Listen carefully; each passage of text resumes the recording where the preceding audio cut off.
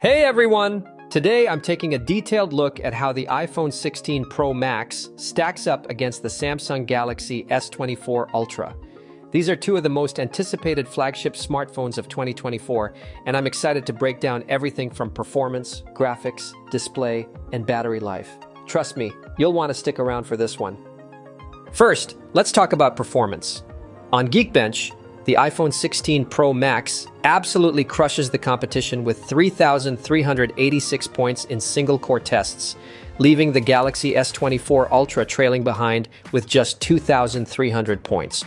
Multi-core performance, the iPhone's 8,306 still leads over the Galaxy's 7,249. That's about a 15% edge, meaning everyday tasks, multitasking, and even heavy apps may feel faster and smoother on the iPhone, although you may not feel that with everyday use.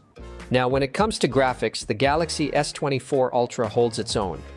In the 3D Mark Solar Bay test, which focuses on ray tracing, the Galaxy pulls ahead with 33.74 FPS, while the iPhone 16 Pro Max manages 28.1 FPS. So, for gamers, the Galaxy is the better choice for smoother frame rates. In the non-ray trace Steel Nomad test, the Galaxy again edges out the iPhone with 12.69 FPS compared to the iPhone's 11.7 FPS. If you're into high-end gaming on your phone, the Galaxy S24 Ultra might be the better option. For those into video editing, the iPhone 16 Pro Max dominates. In the Adobe Premiere Rush test, the iPhone 16 Pro Max transcoded a 4K video to 1080p in just 21 seconds. The Galaxy S24 Ultra, that took 42 seconds, twice as long. For any content creators out there, whether it's for YouTube, Instagram, or TikTok, the iPhone will save you tons of time when editing on the go. Let's talk displays.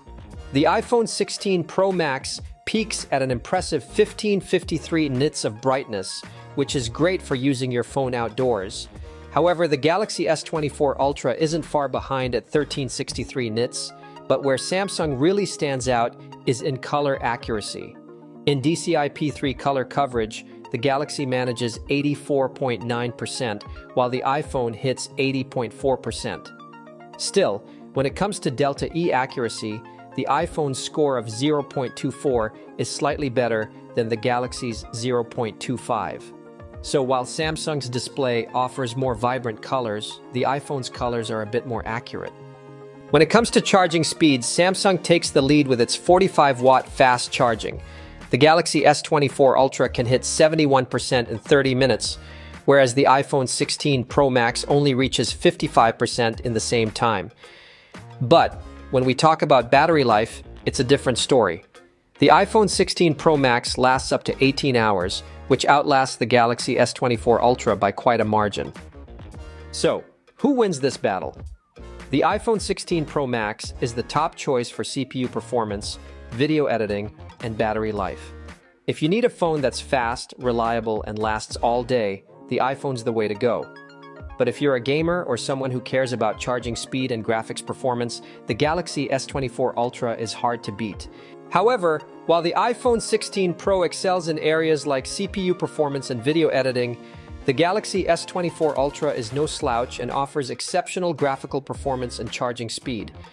The S24 Ultra comes out ahead in gaming and ray tracing benchmarks, and while the iPhone has a lead in specific tasks, the difference in day-to-day -day use between the two would be barely noticeable for most users. Both phones are highly capable, and the choice ultimately comes down to your priorities, whether you value speed or gaming performance more. If you found this helpful, don't forget to like, subscribe, and share. See you next time.